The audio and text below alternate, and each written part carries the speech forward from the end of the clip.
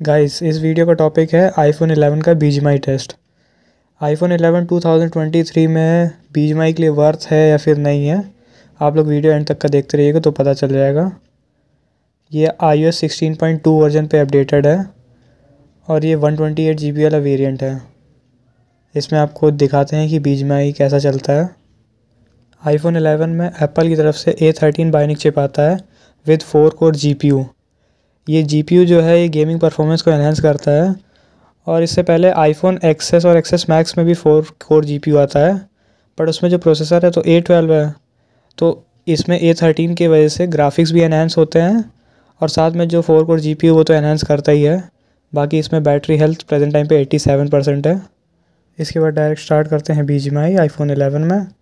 और देखते हैं कितने ग्राफिक्स तक का सपोर्ट रहता है। और फिर उसके बाद एक आप लोग को एयर एंगल का टेस्ट दिखाते हैं। आईफोन 11 में बी में जो मैक्सिमम ग्राफिक्स हैं स्मूथेस्ट एक्सट्रीम बैलेंस पे भी और एचडी और एचडीआर सारे पे एक्सट्रीम है। बस जो अल्ट्रा एचडी ऑप्शन है, इसमें आपको अल्ट्रा ही तक का ऑप्शन देखने को मिलेगा। बाकी एचडीआर तक का मैक्सिमम एक्सट्रीम ऑप्शन देखने को मिल जाता है। अब शुरू करते हैं एंगल का टेस्ट आप लोग को अगर इसका ओरिजिनल टेस्ट देखना हो तो जो वीडियो क्वालिटी सेटिंग रहती है, उसको आप लोग सिक्सटी एफ़ सेट करके फिर वीडियो को देखिएगा तो आप लोग को स्मूथनेस समझ में आएगी। मैं आईफोन एक्स में रेगुलर खेलता हूँ। मेरे को आईफोन एक्स से काफ़ी बेटर इसमें गेमिंग लगती है। एप्पल वाले जैसे खुद कहते हैं कि हम हर प्रोसेसर के साथ गेमिंग को और हर चीज़ को एनहेंस करते हैं तो ए थर्टीन में काफ़ी बढ़िया गेमिंग परफॉर्मेंस है। बहुत ही स्मूथ गेम रहता है। भले बैक ग्लास है हीट होता है थोड़ा बहुत बट फिर भी जो गेम ऑप्टिमाइजेशन है, काफ़ी बढ़िया है। आईफोन 11 भले ही 2019 का मोबाइल है बट इसमें जो परफॉर्मेंस जो स्मूथनेस गेम में रहती है, वो शायद आज के एंड्रॉयड भी ना दे पाएँ।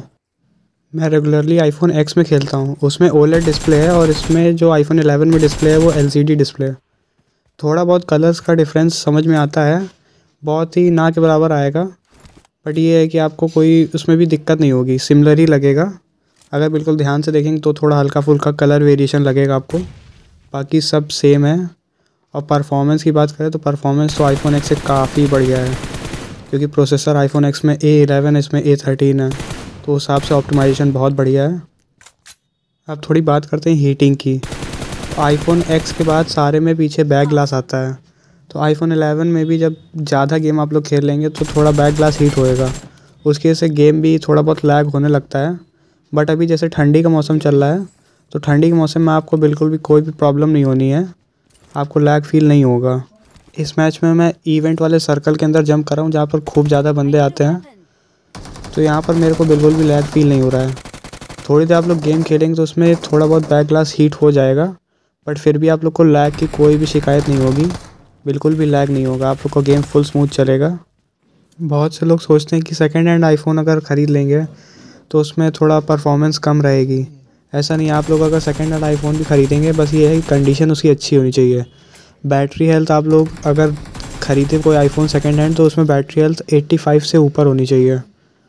और जो कंडीशन है वो भी अच्छी हो ताकि गेम तभी अच्छा चल पाएगा, वरना अगर बैटरी हेल्थ लो होती है तो परफॉर्मेंस में थोड़ा डिग्रेडेशन हो जाता है, थोड़ा परफॉर्मेंस कम हो जाती है। आप लोग अगर मार्केट में भी सेकेंड हैंड आईफोन 11 लेने जाएँगे तो अगर अच्छी कंडीशन वाला लेना है तो आप लोग को पच्चीस हज़ार के आसपास तक का मिल जाएगा। जिसमें आपको बैटरी हेल्थ नाइन्टी या फिर नाइन्टी से थोड़ा ऊपर नीचे मिल जाएगी। बाकी कुछ आईफोन ठीक ठाक कंडीशन में भी मिल जाएँगे, जो जिसमें बैटरी हेल्थ आपकी एट्टी टू नाइन्टी परसेंट के बीच में होगी। वो आपको ट्वेंटी थ्री थाउज़ेंड के आसपास तक का मिल जाएँगे। बट उसमें ये भी कोई दिक्कत नहीं है कि परफॉर्मेंस में कम हो जाएगी बैटरी हेल्थ कम होने की वजह से। परफॉर्मेंस फिर भी बढ़िया रहती है, बस ये है फ़ोन की कंडीशन अच्छी होनी चाहिए, सही से मेंटेन होना चाहिए तो फिर फ़ोन भी बढ़िया चल जाएगा। अभी ये जो फ़ोन है, ये करीब डेढ़ दो साल हो चुका है बट फिर भी परफॉर्मेंस उसकी सेम वैसी है जैसी नए मोबाइल में देता था वो परफॉर्मेंस और मुझको कोई परफॉर्मेंस में डिग्रेडेशन अभी भी नहीं लगती है। बाकी अगर आप लोग को कोई भी मोबाइल से कोई भी रिलेटेड डाउट है तो आप लोग कमेंट सेक्शन पूछिए, मैं रिप्लाई कर दूँगा।